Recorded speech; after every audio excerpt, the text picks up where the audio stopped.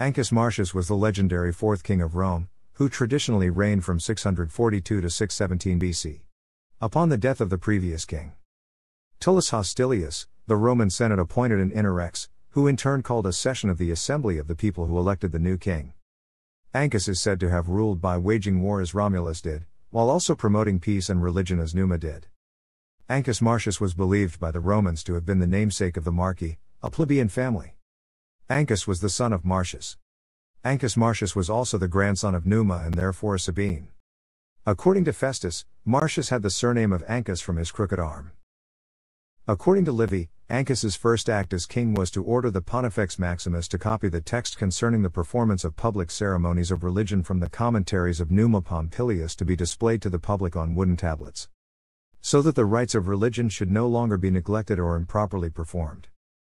He reinstated the religious edicts that were created by Numa that had been removed when Tullus was king. Fictional 16th century depiction in the Promptuarii Iconum Insigniorum Ancus waged war successfully against the Latins, and a number of them were settled on the Aventine Hill.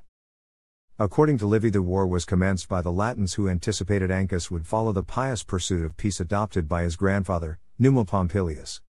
The Latins initially made an incursion on Roman lands, when a Roman embassy sought restitution for the damage, the Latins gave a contemptuous reply. Ancus accordingly declared war on the Latins.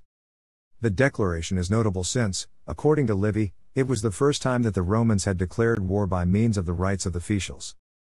A coin depicting Ancus Marcius and Numa Pompilius side by side Ostia on a map of Rome Ancus Marcius marched from Rome with a newly levied army and took the Latin town of Politorium by storm. Its residents were removed to settle on the Aventine Hill in Rome as new citizens, following the Roman traditions from wars with the Sabines and Albans. When the other Latins subsequently occupied the empty town of Politorium, Ancus took the town again and demolished it. The Latin villages of Tellenae and Ficana were also sacked and demolished. The war then focused on the Latin town of Medullia. The town had a strong garrison and was well fortified.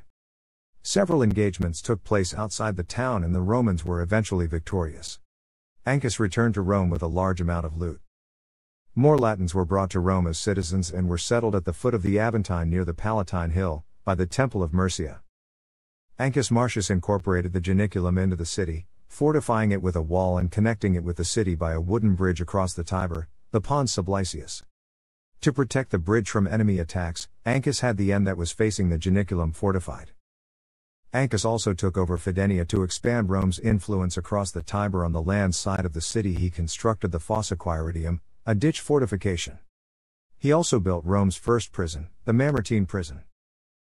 He extended Roman territory to the sea, founding the port of Ostia, establishing saltworks around the port, and taking the Silva Maesia, an area of coastal forest north of the Tiber, from the Veians. He expanded the temple of Jupiter Feretrius to reflect these territorial successes.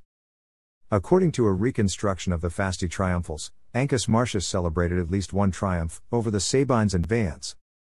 Ancus Marcius is reported to have died of natural causes in the 24th year of his reign, at the age of 60. He had two sons, one of which would likely take the throne.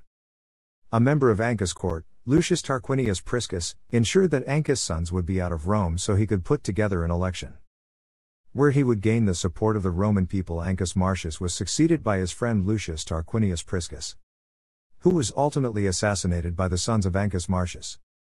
Later, during the Republic and the Empire, the prominent gens Marcia claimed descent from Ancus Marcius. Thanks for watching.